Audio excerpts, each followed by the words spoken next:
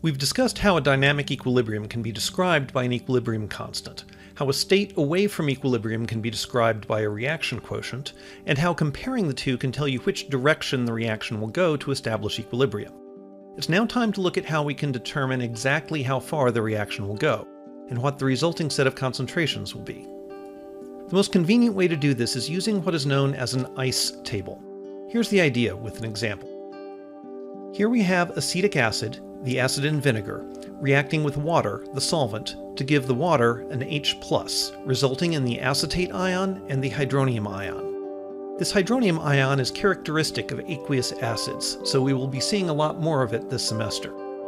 Because this is an acid, doing its main acid reaction of giving up an H+, the equilibrium constant has a special designation, Ka, where the A stands for acid. Don't worry about remembering that right now. We'll come back to it later in a lesson on acids and bases. This particular reaction has an equilibrium constant at room temperature of 1.7 times 10 to the negative fifth molar. We'll set up the problem so that we are making a 0.2 molar acetic acid solution, and we want to know what the hydronium ion concentration will be.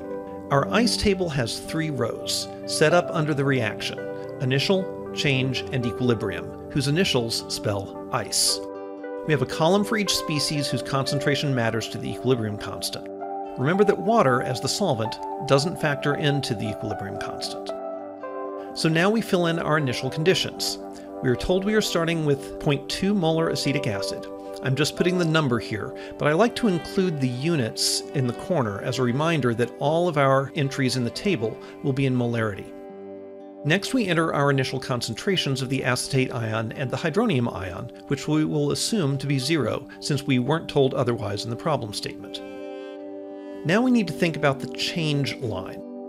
Clearly, if we are starting with concentrations of zero for the products, the only direction the reaction can go is to the right. How much will it go to the right? We don't know yet, so we'll call it x. Now for every acetate ion created, due to the stoichiometry of the reaction, we get one hydronium ion, so the change in hydronium ion concentration will also be X. And for every acetate ion created, again due to the stoichiometry of the reaction, one acetic acid molecule will be consumed, so that change will be negative X.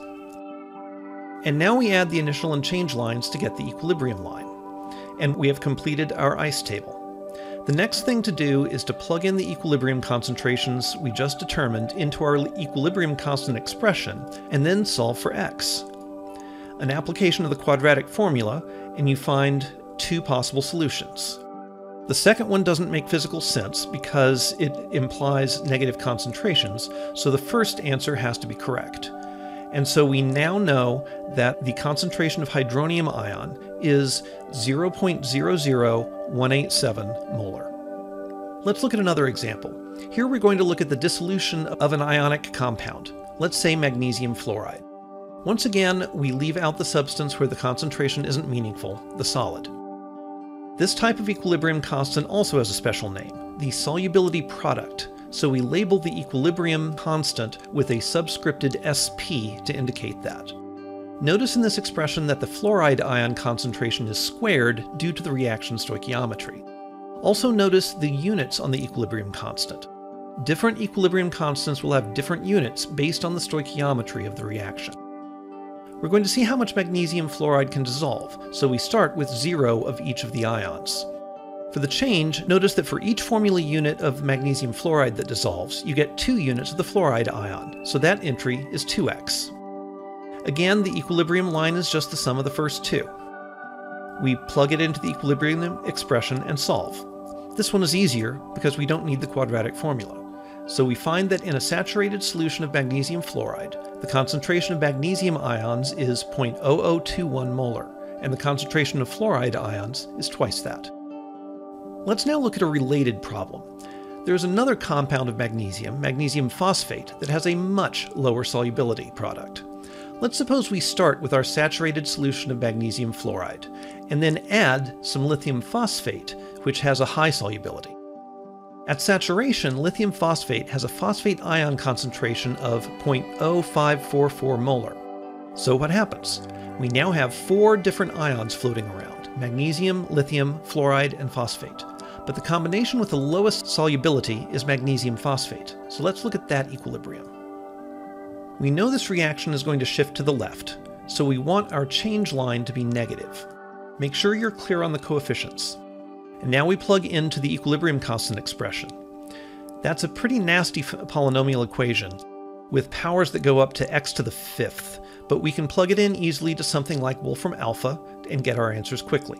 Of the five roots of this equation, the imaginary ones aren't physical, and the last two are too big. They would result in negative concentrations, so the first one has to be the correct answer. And plugging the result in, we get our answer. Nearly all of the magnesium will precipitate out, as expected. It is also possible in these kinds of problems to use experimental data to calculate the equilibrium constant. Suppose we make a solution of lactic acid at a concentration of 0.2 molar. We complete our table. As we will learn in an upcoming lesson, the concentration of the hydronium ion is extremely easy to measure, and in this experiment we measure it to be 0.0125 molar.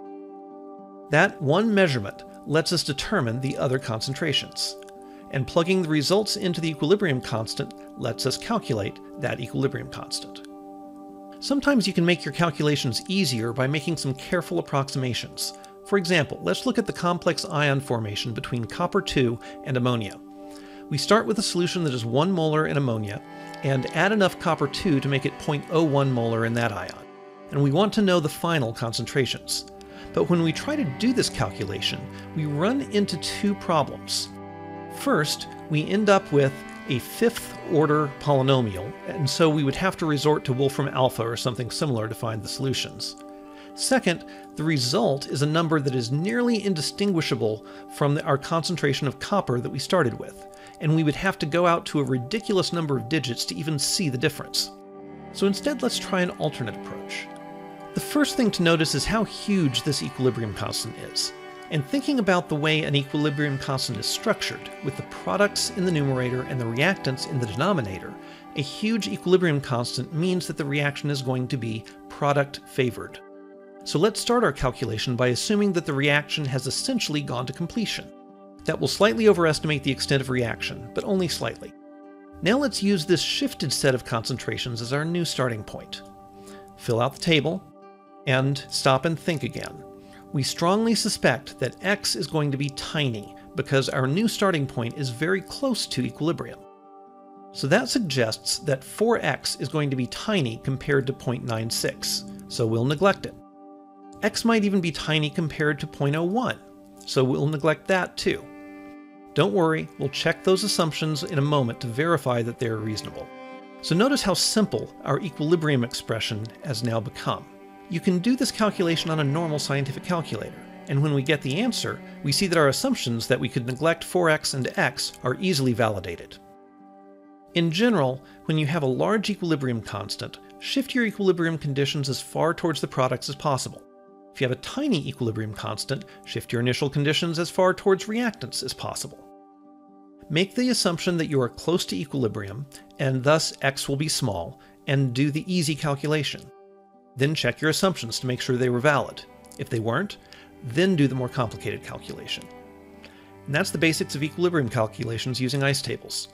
The next several lessons will be extensive applications of equilibrium calculations in a variety of different contexts, so spend some time making sure that you're comfortable with the concepts we've talked about here.